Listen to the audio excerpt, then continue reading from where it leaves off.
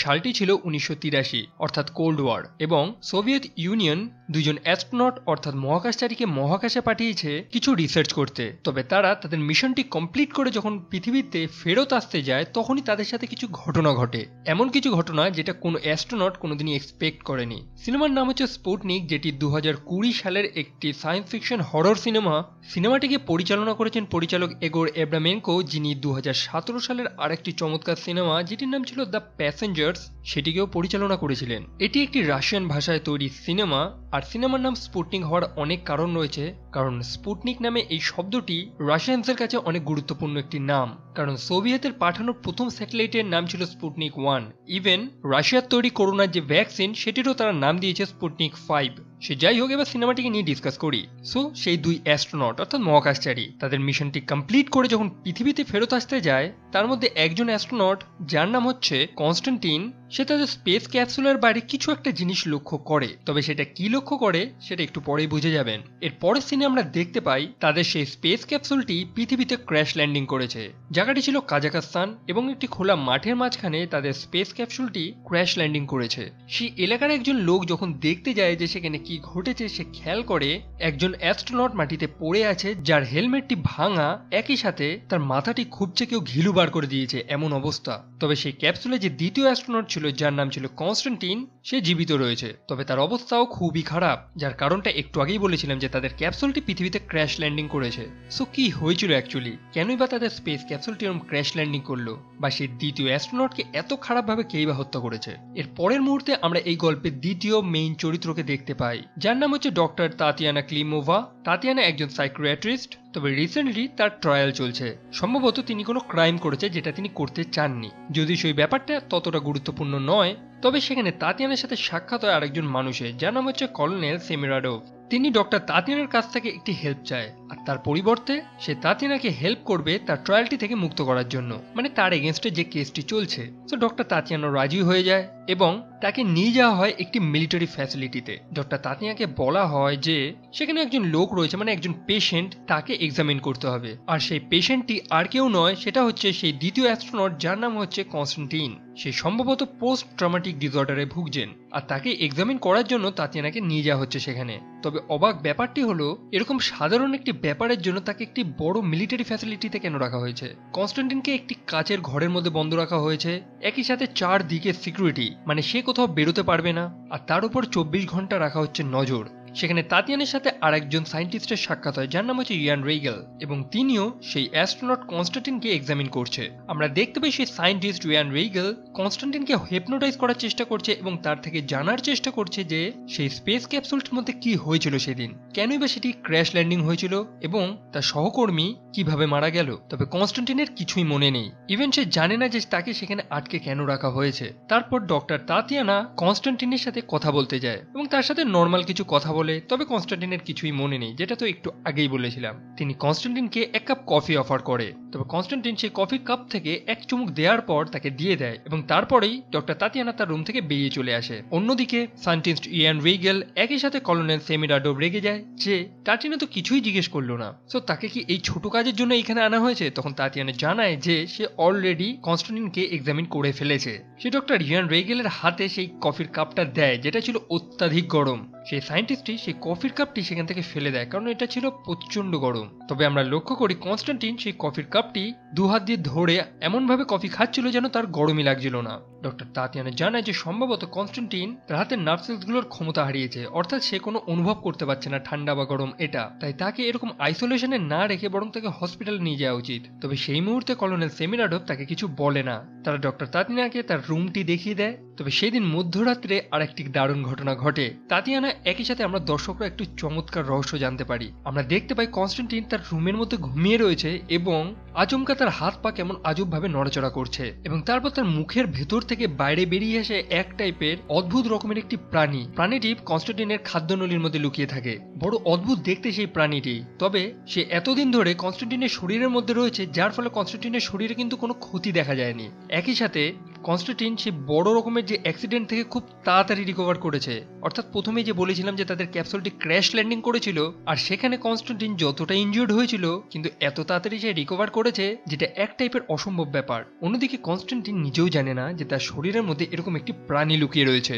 তবে তার না জানাটাই স্বাভাবিক, কারণ সে আগের থেকে নিজেকে আরও বেটার ফিল করছে মানে আরও বেশি সুস্থ। তবে এই প্রাণীটি তার শরীরে বেঁচে আছে কি করে? আমরা জানতে পারি যে কনস্টান্টিন যে যে খাবারগুলো খায়, সেখান থেকে নিউট্রিয়েন্টস গুলো সেই প্রাণীটি পেয়ে যায়। অর্থাৎ সেটি এক টাইপের প্যারাসাইটস নয়তো সিম্বিওটস তবে আমরা পরে জানতে পারি যে এটি এক টাইপের সিম্বিওটস কারণ সিম্বিওটসরা যে হোস্ট বা যে শরীরটি বেছে নেয়, অর্থাৎ যে মানুষটিকে বেছে নেয়, তাদের সাথে একটা আলাদা বন্ড তৈরি করে নেয়। অর্থাৎ তারা দুজনেই একে অপরকে ছাড়া বাঁচতে পারবে না। আর সেটাই হয়, সেই সিম্বিওটসটি অর্থাৎ সেই প্রাণীটি কনস্টান্টিনের শরীর ছাড়লেই কনস্টান্টিন অসুস্থ হয়ে পড়ে। একই সাথে সেই সিম্বিওটসটি কনস্টান্টিনের শরীরের বাইরে এক ঘণ্টার বেশি থাকতে পারে না। ডক্টর তাতিয়ানা তার এক্সামিনেশন কন্টিনিউ করতে থাকে এবং তারই মাঝে সে দারুণ দারুণ কিছু তথ্য খুঁজে পায়। সে স্টিল বিশ্বাস করে যে কনস্টান্টিন হয়তো কিছু জানে যেটা সে লুকিয়ে রেখেছে, বা হয়তো সে জানে যে তার শরীরের মধ্যে এরকম একটি প্রাণী লুকিয়ে রয়েছে এবং সে সেই সম্পূর্ণ ব্যাপারটি না জানার ভান করে রয়েছে। কনস্টান্টিন নিজেকে সোভিয়েত ইউনিয়নের একটি হিরো মনে করে, যে নিজের জীবনের বাজি লাগিয়ে তাদের স্পেস মিশনটি কমপ্লিট করেছে। অন্যদিকে তাতিয়ানা কোথাও দিয়ে খবর পেয়েছে যে কনস্টান্টিন এই মিশনটি করার জন্য তার পাঁচ বছরের বাচ্চাকে একটি অনাতলায় ফেলে রেখে চলে এসেছে। তাতিয়ানা এরকমভাবে কনস্টান্টিনকে বহুভাবে ব্ল্যাকমেল করতে থাকে যে কনস্টান্টিন যদি সব কথা খুলে না বলে তাদের, তাহলে গোটা সোভিয়েত ইউনিয়নের তার যে ইমেজ তৈরি হয়েছে সেটা সম্পূর্ণভাবে নষ্ট হয়ে যাবে। লোকে তাকে আর হিরো মনে করবে না। একই সাথে তাতিয়ানা কনস্টান্টিনের শরীরের মধ্যে যে জন্তুটি রয়েছে, সেটিকেও এক্সামিন করা শুরু করে। একদিন সে লক্ষ্য করে যে, সে জন্তুটি একটি খেলনার পিছনে খুব ইন্টারেস্ট দেখাচ্ছে। আর সেটা ছিল সেই খেলনাটি যেটা ছিল কনস্টান্টিনের তাতিয়ানা বুঝতে পারে যে তাদের দুজনেরই সেম ইন্টারেস্ট অর্থাৎ কনস্টান্টিনও সেই খেলনাটিকে পছন্দ করে। সেম ভাবে সেই জন্তুটিও। একদিন তাতিয়ানা সেই জন্তুটিকে এক্সামিন করার জন্য তার মুখোমুখি হয়। সে খেয়াল করে যে সেই জন্তুটি তাকে হার্ট করছে না, বরং সে সেই খেলনাটিকে নিয়ে ব্যস্ত। তবে সেখানে একটি অ্যাক্সিডেন্ট ঘটে। সেই জন্তুটি যখন কনস্টান্টিনের শরীরের মধ্যে দিয়ে বেরোয়, একই সাথে তার গায়ের মধ্যে যে পিচ্ছিলজাতক পদার্থগুলো রয়েছে, সেটাতে স্লিপ কেটে তাতিয়ানা পড়ে যায়। আর সেই জন্তুটি সেই মুহূর্তে তাতিয়ানাকে হস্টাইল মনে করে, অর্থাৎ শত্রু, এবং সে তাতিয়ানার উপর আঘাত করে দেয়। যার ফলে তাতিয়ানার পার্টি ইনজিওর্ড হয়, তবে কোনো মতে সে সেখানে জানে বেঁচে যায়। সময়ের সাথে সাথে তাতিয়ানা আরও নতুন নতুন জিনিস জানতে পারে, যেমন সেই জন্তুটি এবং কনস্টান্টিন তারা দুজনে দুটো শরীর হলেও তারা সেম এন্টিটি অর্থাৎ তাদের মাইন্ড হচ্ছে সেম অর্থাৎ কনস্টান্টিনের মধ্যে যেসব স্মৃতিগুলি রয়েছে সে যেগুলো ভাবে সবকিছু সেই জন্তুটি জানে। একই সাথে সেই জন্তুটি যা যা কাজগুলো করে, সেটাও কনস্টান্টিন জানে এবং তাদের দুজনের মধ্যে একটি বন্ড তৈরি হয়ে গিয়েছে। আর একই সাথে তাতিয়ানা এটাও জেনে যায় যে কনস্টান্টিন সবকিছুই জানে, অর্থাৎ সেই জন্তুটি কি কি করে। তাতিয়ানা বেশ কিছুদিন ধরে লক্ষ্য করে যে, সেই মিলিটারি ফ্যাসিলিটিতে সোলজাররা এক একটি করে ডেড বডি নিয়ে যায়। তাতিয়ানা সেই ছবিগুলোও দেখে যে সায়েন্টিস্টদের সেই জন্তুটি মেরে দিয়েছে, যারা কনস্টান্টিনকে এক্সামিন করছিল। তাতিয়ানা খেয়াল করে যে তাদের প্রত্যেকের মৃত্যুর প্যাটার্নটা সেম তাতেনা একদিন সেই রেকর্ডটি প্লে করে, অর্থাৎ সেই রুমের মধ্যে যখন জন্তুটি তাতেনার উপর হামলা করে দিয়েছিল, সেই মুহূর্তে কি হয়েছিল? একই সাথে সে তখন খেয়ালও করে যে, প্রতিদিন রাত্রির বেলায় যখন জন্তুটি কনস্টান্টিনের শরীরের থেকে যখন বাইরে বের হয়, তার পরের কিছু ফুটেজ মিসিং রয়েছে। অর্থাৎ সেই ভিডিওর কিছু সিন মিসিং রয়েছে। তাতিয়ানা সায়েন্টিস্ট ইয়ান রিগেলকে জিজ্ঞেস করে যে, এখানের বাকি ভিডিওগুলো কোথায়? কারণ সে স্পষ্ট বুঝতে পেরে গেছে যে, সেই ভিডিওটাকে ম্যানিপুলেট করা হয়েছে। সে সায়েন্টিস্ট ইয়ান রিগেলকে আগেও জিজ্ঞেস করেছিল যে তারা দুজন, অর্থাৎ কনস্টান্টিন এবং সেই জন্তুটিকে সেম খাবার খায়? মানে তাতিয়ানা এর আগে তো জানতো যে কনস্টান্টিন যে খাবারগুলো খায়, সেখান থেকে নিউট্রিশনগুলো সেই জন্তুটি পেয়ে যায়। তবে সায়েন্টিস্ট রিয়ান নিগেলকে জিজ্ঞাসাবাদ করার পর এমন কিছু তথ্য বেরিয়ে আসে যেগুলো একদম অবাক করে দেওয়ার মতো। সেই মিলিটারি ফ্যাসিলিটিতে আমরা খেয়াল করেছি যে সেখানে বেশ কিছু লোকদের আটকে রাখা হয়েছে, যারা ছিল প্রিজনার্স অর্থাৎ এক টাইপের তারা জেল কয়েদি। তবে তাদের সেখানে কেন আনা হয়েছে সেটারই কারণ এখন উদ্ধার হয়। কনস্টান্টিনের শরীরের মধ্যে যে জন্তুটি রয়েছে, সে কনস্টান্টিন যেগুলো খায় সেগুলো খায় না, বরং তাকে খাবার হিসেবে মানুষ দেয়া হয়। অর্থাৎ সেই ফ্যাসিলিটিতে যেসব জেল কয়েদিদের আটকে রাখা হয়েছে। তবে এখানেও কিছু রহস্য রয়েছে। সেই জন্তুটি গোটা মানুষদের খায় না, বরং সে মানুষদের মাথা থেকে একটি হরমোন রয়েছে, যেটির নাম হচ্ছে কর্টিসল। সেই হরমোনটির থেকে নিউট্রিশন অ্যাবজর্ব করে। চলুন আরেকটু ডিটেলসে বলে দিই। কর্টিসল হচ্ছে এক টাইপের স্টেরয়েড যেটি আমাদের মাথায় তখনই নিঃসরণ হয় যখন আমরা কোনো জিনিস দেখে খুব ভয় পাই এবং সেই জন্তুটির সামনে যে মানুষটি থাকবে, সে যদি জন্তুটিকে দেখে প্রচণ্ড ভয় পেয়ে যায়, তখনই তার মাথায় কর্টিসল নামক সেই হরমোনটি নিঃসরণ হবে। আর তখনই সেই জন্তুটি সেই মানুষটিকে মেরে তার মাথা থেকে সেই নিউট্রিশনগুলো নিয়ে এই তথ্যগুলো জানতে ডক্টর ইয়ান রেগেল তাতিনাকে খুবই সাহায্য করে। যদিও প্রথমে সে একটু সেলফিশনেস দেখালেও পরে সে একটি ভালো মানুষের পরিচয় দেয়। ডক্টর তাতিয়ানে সেই ক্রিচারটির মুখোমুখি হয়ে বহুবার তাকে কন্ট্রোল করার চেষ্টা করে। ইভেন একবার এমনও হয়, সে তার নিজের জীবন ঝুঁকিতে দিয়ে এটা দেখার চেষ্টা করে যে কনস্ট্যান্টিন এবং সেই জন্তুটির মধ্যে কোনো ইমোশনাল বন্ডিং আছে নাকি। একই সাথে ডক্টর তাতিয়ানা নিজের মধ্যে একটি সাহস দেখানোরও চেষ্টা করে। তবে আমরা খেয়াল করি যে, সেই জন্তুটি তাতিয়ানাকে মারে না, বরং তার পাশে অবস্থিত আরেকটি প্রিজনারকে মেরে ফেলে। ডক্টর তাতিয়ানা কনফার্ম হয়ে যায় যে, সেই জন্তুটি কি কি করছে তার উপর সম্পূর্ণ কন্ট্রোল কনস্ট্যান্টিনের রয়েছে। অর্থাৎ জন্তুটি যখন কনস্টান্টিনের শরীরের বাইরে বেরোয়, তখন কনস্টান্টিনের কোনো হুশ থাকে না। কিন্তু তার সাবকনসিয়াস অর্থাৎ তার অবচেতন মন, সেই জন্তুটিকে কন্ট্রোল করতে পারে। যেমনটা আমি প্রথমেই বলেছিলাম, যে তাদের শরীরটা ভিন্ন হলেও তাদের ব্রেন বা তাদের মনটা একটাই। একই সাথে এরপরে গল্পে কর্নেল সেমিরাডোভের আরেকটি মাস্টার প্ল্যান সম্পর্কে আমরা জানতে পারি। ডক্টর তাজিয়ানা কর্নেল সেমিরাডোভকে এটাও জানায় যে এরকম টাইপের জন্তুকে সেখানে রাখাটা খুবই রিস্কি তাকে আইদার মস্কো নিয়ে যেতে হবে, যেখানে তাদের আলাদাভাবে এক্সামিন করানো হবে, তার ট্রিটমেন্ট করানো হবে। কারণ সেটা ছিল একটি মিলিটারি ফ্যাসিলিটি কোনো মেডিকেল ফ্যাসিলিটি না। তবে কর্নেল সেমিরাডোভ সেই জন্তুটিকে কোনোভাবেই মারতে চায় না, বা সে চায় না গোটা দুনিয়া সেই জন্তুটি সম্পর্কে জানুক। সে কোনোভাবে জন্তুটিকে কন্ট্রোল করতে চায়। অর্থাৎ সে এমন কিছু চায় যে সে ইচ্ছে মতন সেই জন্তুটিকে কন্ট্রোল করতে পারবে, আর যার একমাত্র কারণ রয়েছে ক্ষমতার লোভ। আমরা জানি সময়টা ছিল উনিশশো তিরাশি। কোল্ড ওয়ারের সময় ছিল মানে সোভিয়েত ইউনিয়ন একদম পিক ক্ষমতায়, তাই কোনো দেশের কাছে এরকম একটি যদি ক্ষমতা থাকে, এরকম একটি লিথাল ওয়েপন থাকে, তাহলে তাদের যুদ্ধ জয় করাটা খুবই ইজি হয়ে যায়। তাই কর্নেল সেমিনাডোভের মাথায় ঠিক এরকমই প্ল্যান ছিল।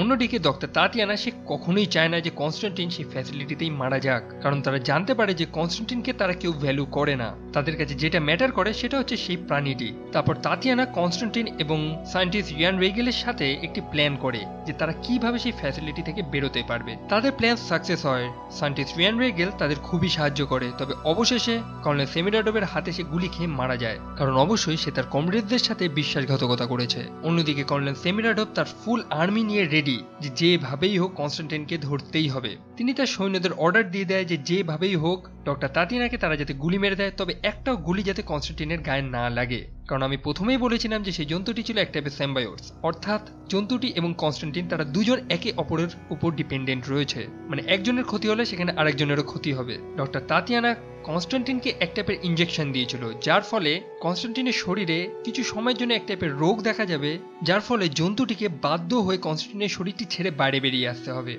এবার হয়তো আপনি ভাবছেন যে কনস্ট্যান্টিনের শরীরে যদি কোনো রোগ দেখা যায়, সেই জন্তুটি কেন বাইরে বেরিয়ে আসবে? তাহলে আপনাদের আরেকটা তথ্য দিয়ে দিই, সেই জন্তুটি এমন একটি শরীর খোঁজে যেটা অবশ্যই সুস্থ এবং সবল হতে হবে এবং যেটার সাথে সে বন্ড বানাতে পারবে। আর কনস্ট্যান্টিনের শরীরটি ছিল সুস্থ সবল, সেই জন্য সে কনস্ট্যান্টিনের সাথে সেই বন্ডটি তৈরি করেছিল।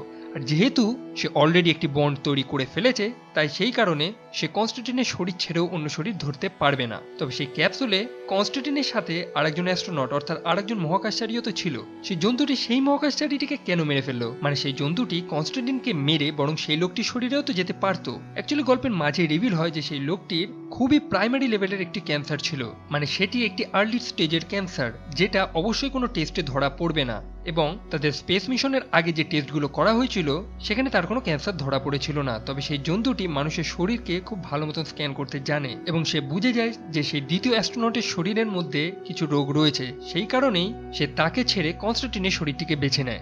একটি সিনে আছে যেখানে সেই ফ্যাসিলিটির আর্মিরা কনস্টান্টিন এবং ডক্টর তাতিয়ানাকে ঘিরে ফেলে। আর আমরা তো জানি যে তারা ডক্টর তাতিয়ানাকে মেরে ফেলবে। তবে সেই মুহূর্তে কনস্টান্টিন সেই ইঞ্জেকশনটি নিজের শরীরে পুশ করে, যার ফলে সেই জন্তুটি বাধ্য হয়ে তার শরীর থেকে বাইরে বেরিয়ে আসে। তবে সেখানেও হয় আরেকটি কাণ্ড। সেই জন্তুটি সেই মিলিটারিগুলোকে সেখানে হত্যা করা শুরু করে। আমরা দেখতে পাই যে গুলির আঘাতেও সেই জন্তুটির তেমন কোনো ক্ষতি হচ্ছে না। অন্যদিকে জন্তুটি কনস্টান্টিনের শরীর থেকে বেরিয়ে যাওয়ার কারণে কনস্টান্টিন খুবই অসুস্থ হয়ে পড়ে।